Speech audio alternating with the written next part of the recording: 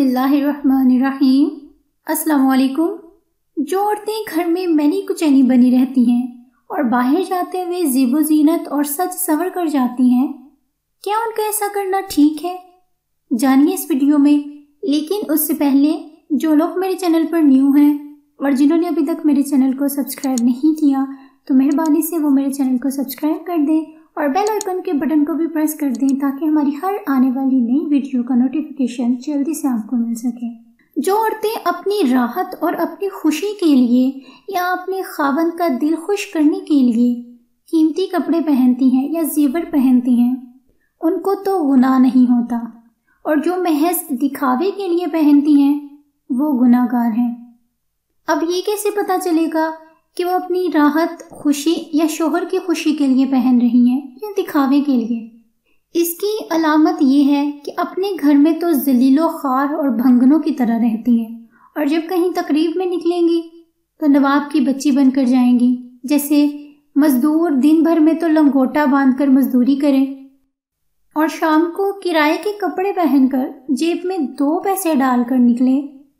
جن میں سے ایک پیسے کا تو پان کا بٹیرا لے گا۔ اور ایک پیسے کا پھولوں کا گجرا گلے میں ڈالے گا، جیسے کسی نواب کا بچہ نہ ہو۔ اب عورتیں دیکھ لیں، یہ جوڑے بدل بدل کر جاتی ہیں۔ اس میں ان کی کیا نیت ہے؟ اگر اپنی راحت اور دل کی خوشی ہے، تو گھر میں اس ٹھاٹ سے کیوں نہیں رہتی؟ کیا گھر میں راحت اور سکون نہیں چاہیے ان کو؟ بعض کہتی ہے کہ ہم تو اپنے خاون کی عزت کے لیے عمدہ جوڑا پہن کر نکلتی ہیں۔ چلیں فرض کیا ان کی اس طویل کو مان بھی لیا جائے۔ تو پہلی دفعہ ایک جوڑا تم نے تقریب کے لیے نکالا تھا۔ خاون کی عزت کے لیے تمہارے خیال میں وہی ایک تقریب کے لیے ایک جوڑا کافی تھا۔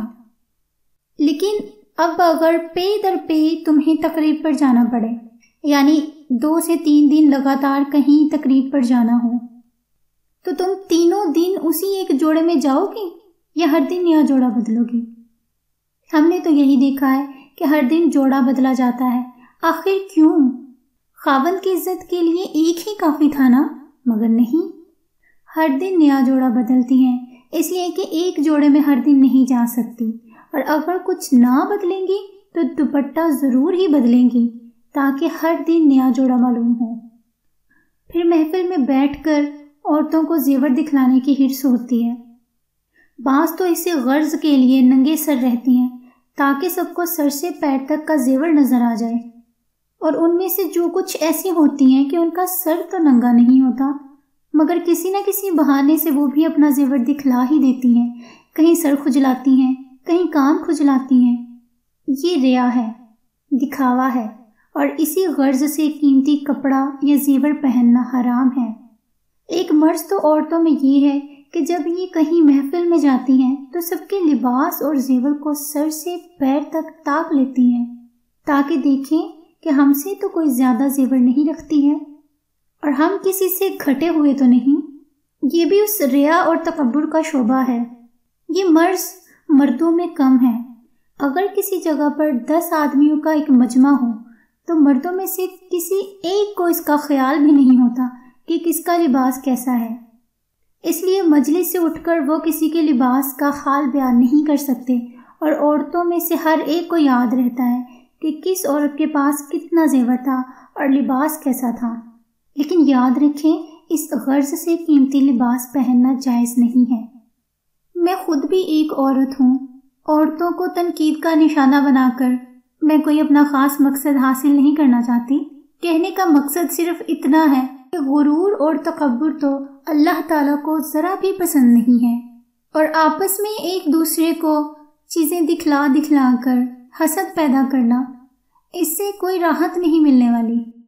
اگر اسی طرح سے کمپٹیشن چلتا رہے گا کہ مجھے اس سے زیادہ ہیوی چیزیں لینی ہیں، تو اس سے سکون تو کہیں دور دور تک نظر نہیں آئے گا۔ انفیکٹ طبیعت میں ایک عجیب قسم کی بے چینی ہوگی۔ کہ اب مجھے اس سے بھی اچھا کچھ لینا ہے۔ آپ کریں بنے سمریں اپنی ذات کے لیے، اپنے گھر میں، اپنے شوہروں کو خوش کرنے کے لیے کوئی مسئلہ نہیں۔ مگر دکھلاوے سے اور شبدہ بازی سے بچنے میں ہی بھلائی ہے۔ اگر آپ کو لگتا ہے کہ تکبر یا ریا کرنے سے کوئی سکون ملتا ہے یا طبیعت کو کوئی راحت پہنچتی ہے، تو آپ کامنٹ سیکشن کے ذریعے مجھے بتا سکتے ہیں۔ بہرحال اتنا ہی کہوں گی۔ کہ حقیقی سکون اسی میں ہے جس میں آپ کا ضمیر مطمئن ہو۔ باقی کوئی بھی تعویل، کوئی بھی عذر پیش کر لے۔ وہ صرف اپنے دل کو بہلانے کی باتیں ہیں۔ جو لوگ اس بات سے اتفاق رکھتے ہیں، وہ کومنٹ کر کے ہمیں بتائیں۔ نیکسٹ ویڈیو تک کے لیے اللہ حافظ۔ دعا میں یاد رکھیے گا۔ فیمان اللہ۔